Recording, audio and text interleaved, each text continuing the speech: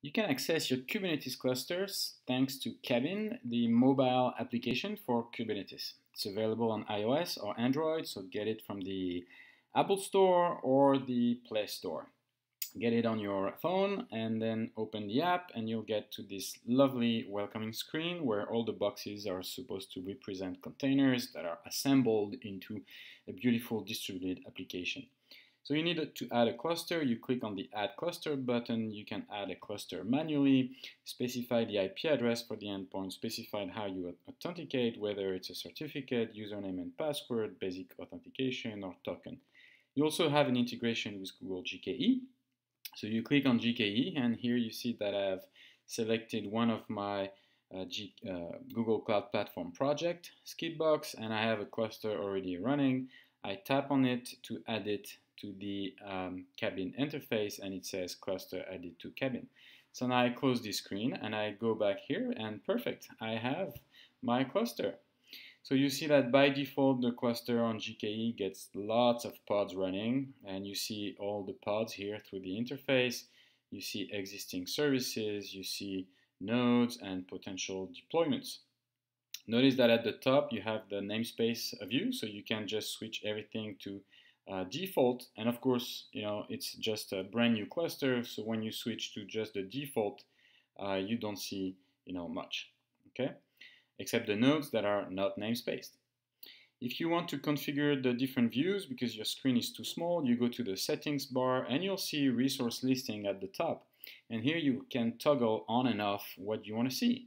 So if you don't want to see nodes you turn them off. If you don't want to see deployments you turn them off okay and you go back and you'll be able to see your services and your pods. Perfect. So pods, you know, I like seeing deployments and maybe I want to see, what do I want to see? Uh, replica sets. So I want to see those four here, perfect. And let's, you know, turn on all namespaces so we see everything. Perfect.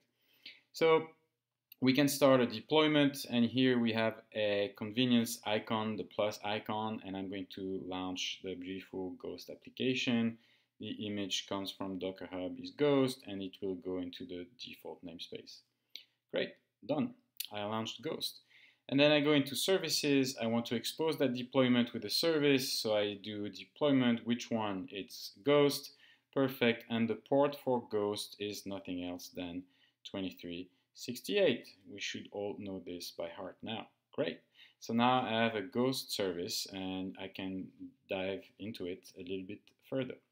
Let's go back to the pods. We see that the ghost pod is, uh, is running. That's perfect. So any object you can uh, dig into it. You can see the labels. You can add, you know, additional additional labels.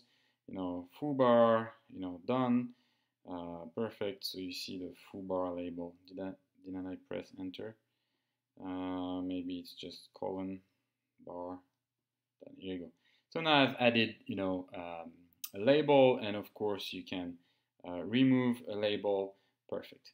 You see the containers that are in a specific uh, pod, and you can get the logs from that specific containers. And if, if there were several containers in that pod, I will be able to to do a container selection. Beautiful. So now going to my deployment, my Ghost deployment, I can click on it. Notice that there is an eye icon in every uh, object, so you can actually see the YAML. You cannot edit the YAML, but you can uh, see it. And then, you know, here, let's say we scale to seven pods.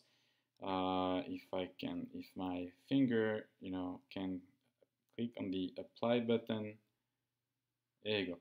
7. So now I've scaled, my desired state has changed, and then you see that my pods are coming online. Perfect. Okay, I go back and I should see much more ghost pod coming up. Perfect, so I can scale from the app, I can check the logs. What about the services? And a quick and handy uh, thing to do with service is to be able to switch the service type. Yes, just one tap and you switch the service type. So now we've made this ghost um, service, a load balancing type um, service. Perfect, so we can access the application. Uh, what else can we see?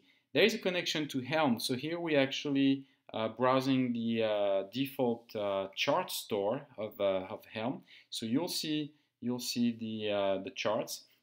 And then you can select one and then launch it. Um, it is a little bit buggy, so you know soon stay up to date. There's going to be some really exciting uh, news about Cabin, and hopefully some of uh, some of you will uh, get involved and uh, help us with that uh, problem with Helm. So let's go back to the pods, for example. They're all running, and we go back to Ghost, and now we should have an IP address. So let's check the ports. What do we see? Open in a browser, and uh, is it getting me a, public IP address? I don't know. Maybe I didn't get the uh, maybe I didn't get the public IP of the the load balancer yet. Oh yeah, no, I do have it. Oh yeah, that's the one. You see, external IP 130.211. So I should be able to open my Ghost and up. There you go, perfect. So here you have it. You know, that's Cabin, the mobile interface, the mobile dashboard for Kubernetes. You can connect it with GKE. You can add clusters manually and then you're able to manage all your Kubernetes primitives. You can do extremely handy operations like labeling, scaling. You can all do set image if you want to trigger a rolling update. Uh, you can exec, you can view logs, and of course, if you also want to access your app, you get it running on your phone. Great, thank you. Bye bye.